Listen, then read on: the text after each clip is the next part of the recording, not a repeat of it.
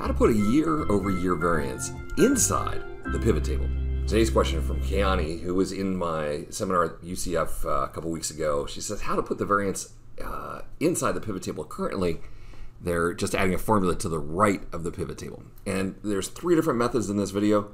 Uh, one using show values as difference from the previous item, but then you have to hide two columns. I hate that. Or add a year to the source data and then just a calculated item like a regular pivot table or the third one, which is probably the best, is a data model pivot table and then adding four DAX measures. Let's take a look.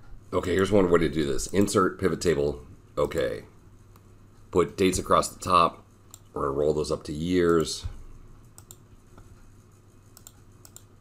Click OK. Revenue here, anything you want down the side, sector, customer, whatever. And I'm gonna take that revenue field and add it a second time, which seems counterintuitive go to sum of revenue 2 and show values as a difference from and this is really important here you have to choose year or whatever that thing is called years and from the previous period. Click OK. All right. Now the hassle is there's no variance for 2020 because it doesn't have the year before so you have to kind of hide that column so now you have 2020, 2021, and then the 2021 variance. Uh, and then you would hide this column. All right. The advantage of this is it's actually part of the pivot table. So take sector out, put customer back in, and you know it continues to work. Right. It's, it's pretty cool. So you know I don't like that we have to hide the columns, but it, it, it's it's a quick and easy way to go. All right. Method two. Unfortunately, you can't do the year rollup in the pivot table. You have to do it here. Just added some more to the original data set. Ugh. Format as a number, no decimal places. Double click to copy that down. All right, insert, pivot table, okay. Sector down the side, year going across the top, revenue here. And you have to choose one of these two headings up here, go to fields, items, and sets, a calculated item. It's going to be called variance, and that is going to be equal to the later year minus the earlier year. I hate this method because every year you're going to have to update this formula. You know, it's something you do once a year. Who's ever going to remember that? Uh, and we can click OK. So now we have 2020, 2021 in variance, but now the problem is the grand total is wrong.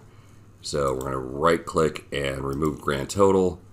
And then from here, we're going to insert another calculated item, which we'll call total. And this is going to be equal 2020 plus 2021.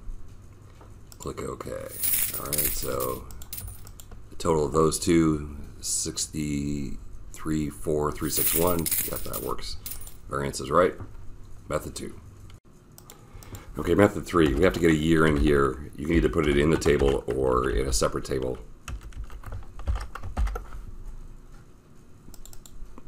And then insert pivot table. This time though, check the box for add this data to the data model. Sector down the left-hand side. Good. Now we're going to add some calculated fields. So right click the table name, say add measure, as we call it sales, which is going to be the sum of revenue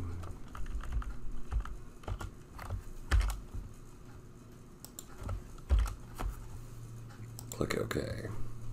Okay, right click, add measure. This will be called sales 2020. We're going to use equal calculate. This is like sum ifs and we want to calculate the uh, sales amount. What's that called? It's I call it sales, right? Yeah, S A L E S.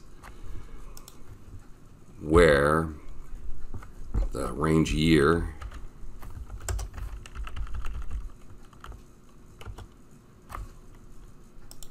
is equal to 2020. This is another one you're going to have to update every year.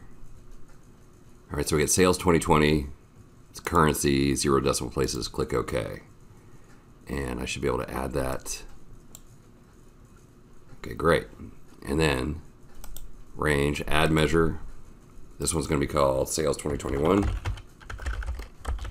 Boy, if I was smart, I would have saved that formula from before. So we're going to calculate sales where range year is equal to 2021